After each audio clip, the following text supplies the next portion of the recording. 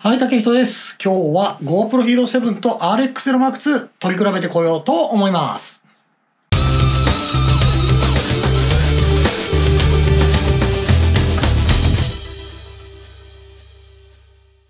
はい、ということで今日なんですが、えっ、と、この間発売になった RX0 Mark II、今私持っておりますので、今撮ってる GoPro Hero 7とね、この RX0 Mark II がどんな感じで違うのか、どんな風に撮れるのかというところを外に出てですね、録画をしてこようと思います。で、特に断りがない限りは GoPro Hero 7は内蔵マイク。で、こっちの RX0 Mark II も内蔵マイクで撮ります。で、いつものピンマイクに変更した時は、あの、今ピンマイクで音撮ってますっていうようにしますのでね、多少暗いところ、市街地っていう言い方が正しいかな。それから、えっ、と、あとお料理とかお祝いでいい焼肉屋に行きますんで、いい焼肉屋のお肉とかがね、ちゃんと取れるかというのをこの2台で比較してみようと思います。今撮ってるのはちなみに GoPro Hero 7ですからね、もう安定の GoPro Hero 7。やっぱ手ぶれは GoPro Hero 7の方がいい感じに撮れてる、いい感じに映るんだとは思うんですけど、どんな感じに撮れるのか比較していこうと思います。それでは早速街にお出かけしましょう。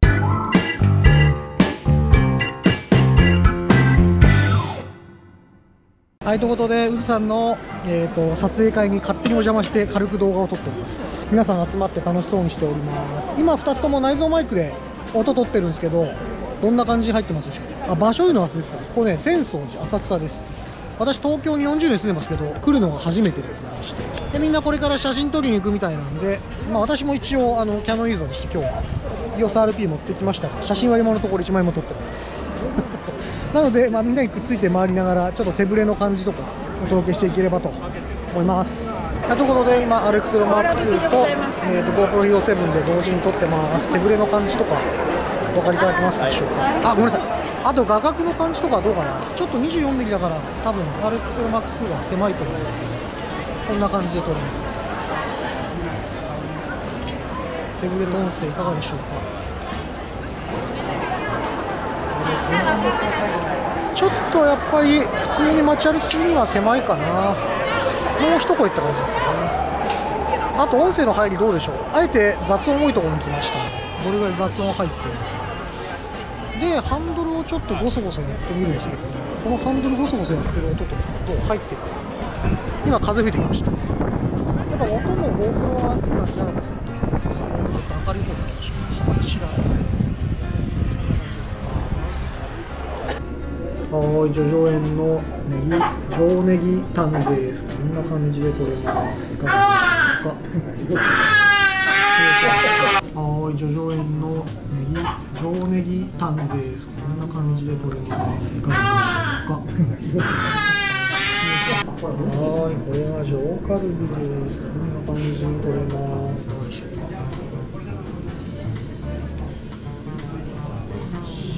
で、これがつぼ漬けカルビですね。中身ちょっと見えてる。色の感じとかどうでしょうか？ちゃんと見えてますかね。ということで、今、新宿の、えー、と駅前にいます。ちょっと暗いところで今動画撮ってるんですけど、ノイズの感じとかどうでしょうか？ザラザラしてるか、ちょっとわかんないですけど、GoPro と今、RX0 Mark II と並べて撮ってみます。これあの暗いところ撮ればわかるんです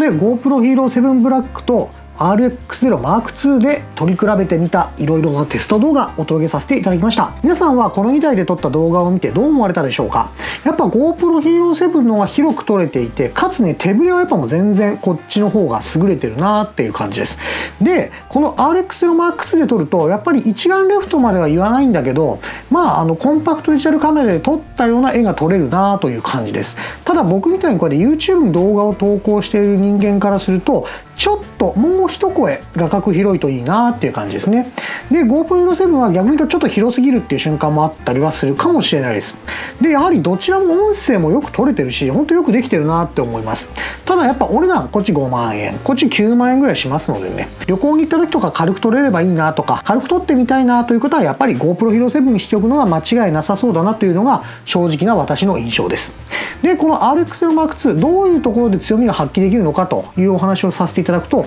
やっぱ夜間の映像が綺麗に撮れるのかなと思ったら私がねこの GoPro Hero 7で撮ったやつかなり綺麗に撮れてると思います。ただこれプロチューンっていうので夜でも大丈夫なように私がいろいろいじった状態であれなのでちゃんと GoPro Hero 7でセッティングをすれば、まあ、RX の Mark2 と同じぐらいは綺麗に撮れるのかなパッと見た感じで撮れるんじゃないかなという気がしています。お料理とかああいったものを撮るときはこの RX の Mark2 のがよく撮れるんですが GoPro Hero 7で撮ったものはピントがボケてなかったんですけどこの RX の Mark2 で撮った方はピントがボケていたと思うんですけどこれはですね私が実際に撮ってみた時にとある発見をしたのでそれをちょっと皆さんにお届けしようと思うんですがこの RX0M2 なんですけどもピント AF がですね AFS というのがついているんですけど AFS でやると録画開始してからこうピントが変えられないんですよね。この状態これぐらいの距離で例えばピントが仮にあったとすると動かしちゃうとピントがボケちゃうよっていうようなオートフォーカスのモードがあるんですけど、まあ、その AFS にするとねピントがそういう状態になっちゃうっていうのはま前モデルから一緒なので私はそもそも使っていないでプリセットフォーカスというものを使っているんですがこのプリセットトフォーカスっていうのはニアとまあノーマルっていうような状態になってると思うんですけどこの RX0M2 私が素晴らしいと思ってるところの1つ目が撮影最短距離。これが2 0センチになりましたよっていうところが最高だったんですよ。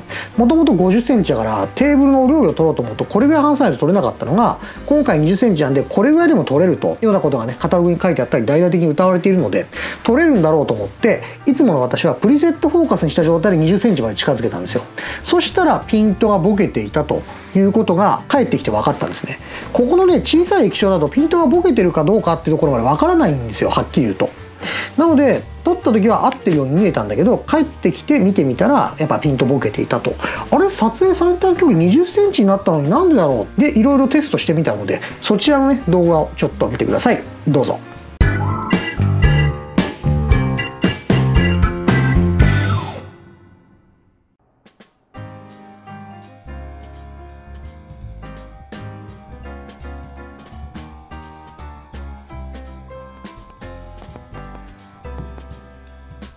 いということで2つ動画をお届けさせていただきました。1本目がオートフォーカスを AFS にして撮ったもの。で2つ目はプリセットフォーカスにして撮ったものになります。どういう状態か分かりますかね？ほぼ同じ位置から撮ったんですけど AFS にすると撮れるんです2 0センチで。なんだけどプリセットフォーカスにすると残念ながらどうも撮影最短距離は5 0センチになっちゃっている気がしますこれ。ここはね非常にいけてない。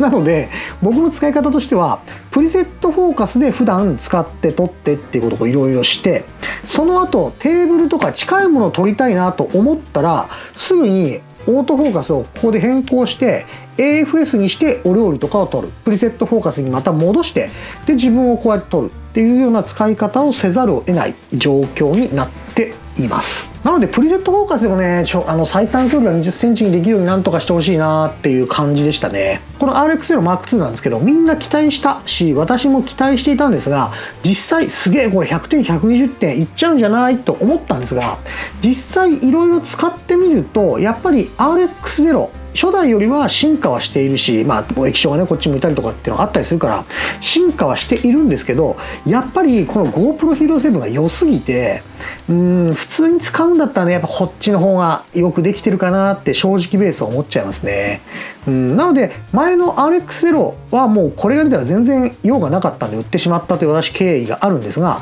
これに関しては RX0 よりは進化しているのでポイントはもうちょっと上がってます。ただ使いどころをね選ぶカメラだと思いますので、まあ、普通に楽に撮って普通に使いたいと思われる方は GoPro Hero 7を買っていただいて私はですねこういうものをいじくり回してなんとなく自分の思ってるものにしていくっていうようなことが結構楽しかったりするので、まあ、これこの RX0M2 使い続けていこうかなと思っておりますが正直この2台を比べたところ普通に使われる人にはこちらを僕はお勧めしたいなと思います。いろいろいじくり回すのが楽しいっていう感じだと思うんでいろいろ工夫したりとか遊びとしてね買うには非常にいい。カメラなんじゃないかなって思いました。はいということで今日の動画良かったなと思ったら高評価。これからの私の動画見たいなと思ったらぜひともチャンネル登録をよろしくお願いいたします。この後ねさらにこの RX マーク2で広角に撮る方法の動画もお届けしようと思っておりますのでそちらも公開したらぜひ見てくださいね。それではまた次の動画でお会いしましょう。では。